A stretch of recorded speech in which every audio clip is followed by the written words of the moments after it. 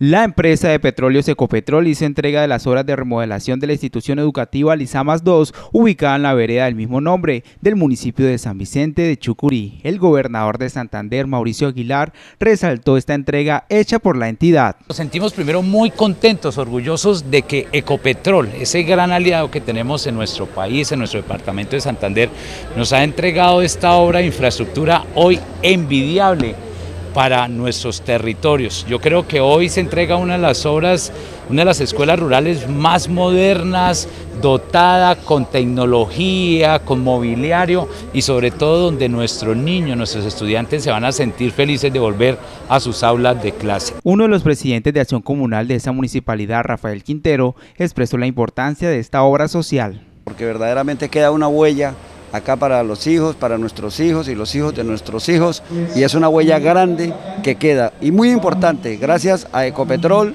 a todos los funcionarios de Ecopetrol con esa responsabilidad social con las comunidades, a la gobernación de Santander, a todos los, a la alcaldía de San Vicente de Chucurí, a toda nuestra comunidad. El vicepresidente de esta compañía de petróleos habló sobre este programa de reestructuración de escuela.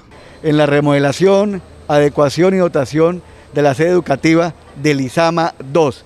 Mejora notablemente las condiciones educativas para nuestros estudiantes. Más de 100 niños se favorecen con esta importante inversión donde vamos a poder agilizar el proceso de alternancia, brindarles todas las condiciones, conectividad, computadores, aulas con gran espacio, con aire acondicionado, en fin, este hermoso polideportivo. Los trabajos realizados, cuya inversión superó los 3 mil millones, permitieron la remodelación, ampliación y dotación de la institución para beneficiar a los 98 estudiantes que a diario asisten a este centro educativo.